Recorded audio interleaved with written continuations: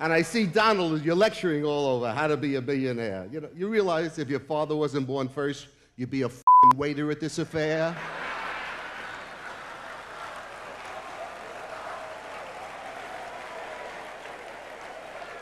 When I started, there were no comedy clubs. You either worked, uh, there were the major nightclubs. You worked the Copa, you worked the Latin Quarter, you worked Chez Paree in Chicago, Mr. Kelly's, San Francisco, Bimbo. There was a, a tour. But there were no places to be bad. In order to be a good comic, you got to be a bad comic to start.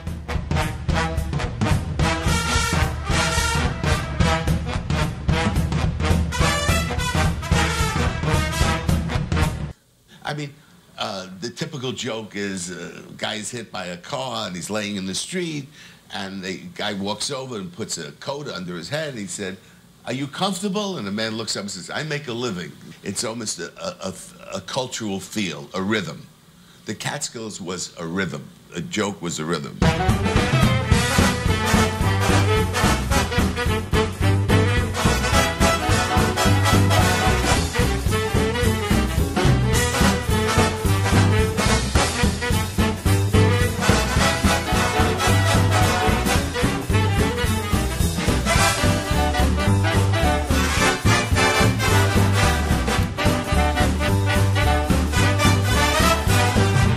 Everybody did the same jokes. You would do a joke, they'd yell, I heard it yesterday. You know, it was tough. That hurts. Oh, it hurts. And every comic did the same joke, you know.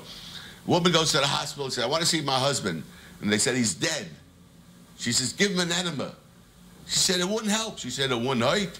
Every comic did that joke.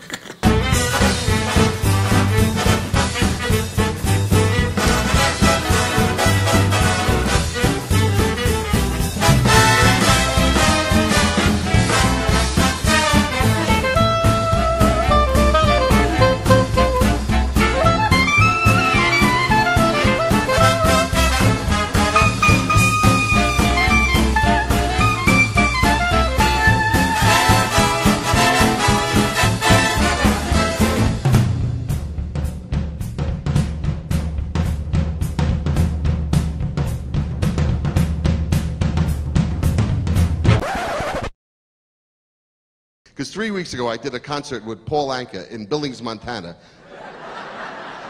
You try doing this crap in Montana with, with those Fabicinus sitting there, with the crew cuts. You ever been to Montana? Squarest place in the world. In Montana, Velveeta cheese is in the gourmet section of the supermarket. In Montana,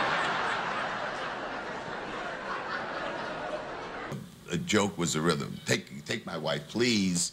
I make a living. Uh, the, f- so much, uh, the food here stinks and the portions are so small. it's a rhythm. like an Italian table ringside, this is what you hear.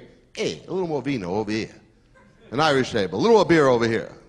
Jewish table, we didn't get any rolls. Can we get some rolls or something?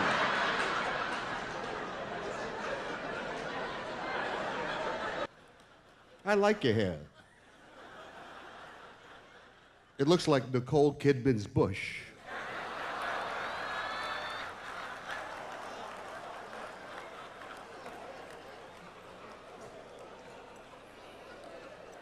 Full of shit, Donald Trump.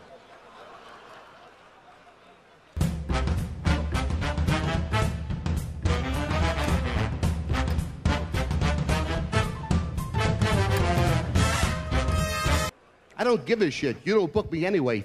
You.